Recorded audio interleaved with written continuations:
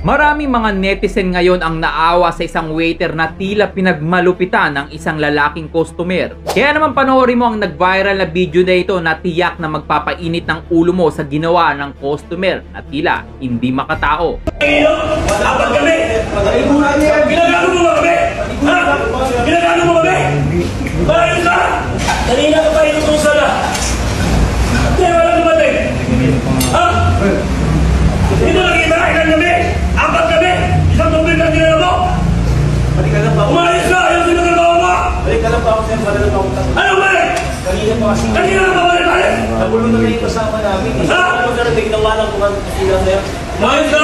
Dami kasi customer sir, hindi ko kita sa'yo. Dapat inuuna mo kasi yung Wala akong pakialam dyan sa mga kasulat!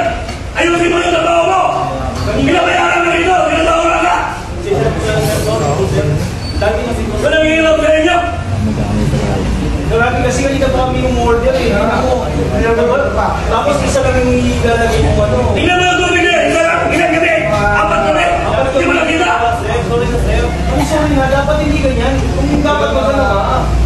Kanina pa kami yung order eh. Halika lang ako? Umayos na mo! Saan ba nangyari ito? Eh, dahil nga, kasi kanina pa eh. Tapos kasi hindi mo malating. Unang-una yung kasama namin.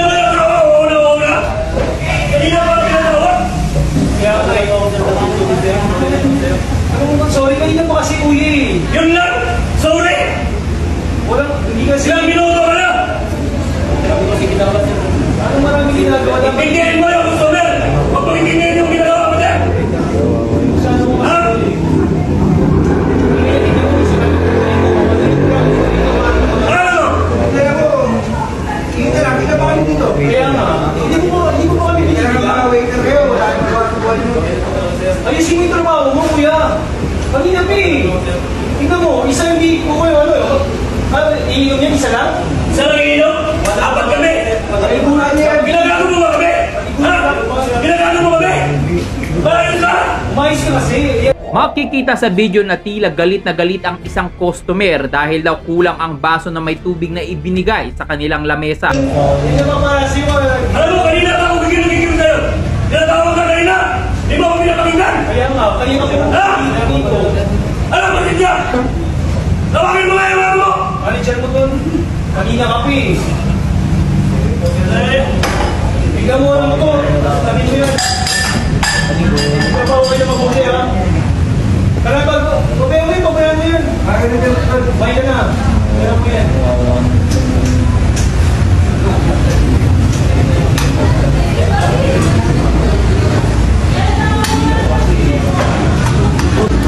Yung baso.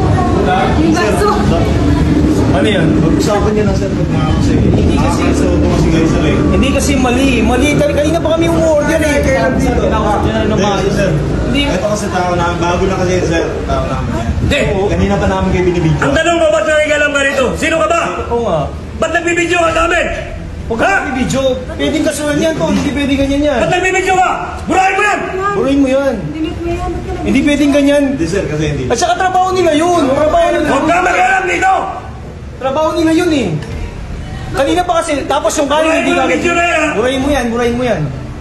Tandaan, serbisyo at produkto ang katumbas ng ating ibinabayad, hindi kasama ang yurakan o maliitin ang pagkatao ng isang waiter. Pag-unawa ang kinakailangan. Kaya naman i-share mo na ang video na ito. Ikaw bilang isang Pilipino, ano ang masasabi mo sa ginawa ng lalaking customer na ito sa isang waiter? Kailangan ba siyang managot? Well, i-comment mo na ang iyong reaksyon sa video sa baba.